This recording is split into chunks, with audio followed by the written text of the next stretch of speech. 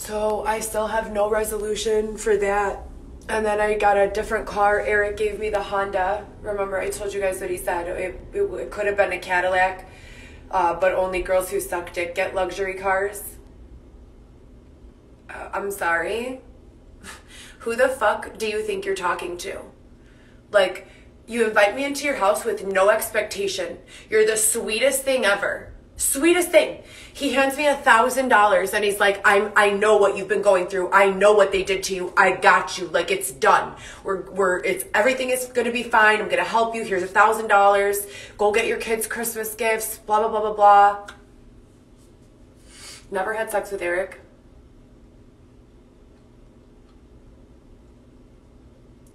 You know,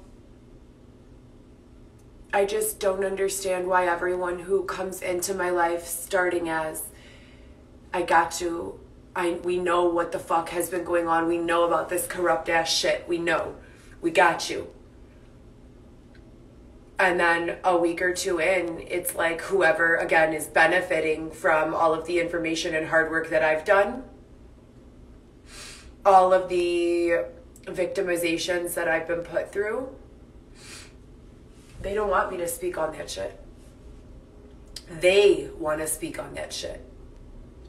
So they force people to go through it and then they pretend like they are an investigator or a an agent of some kind and they present the information that someone else got only because they were thrown into a position of being victimized.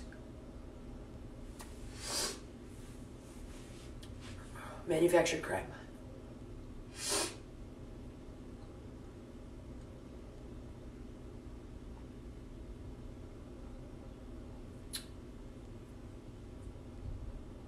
I don't know. I really don't know.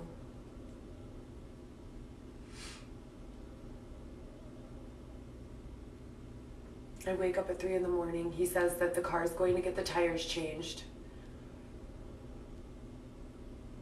And that's the last time I've heard from him.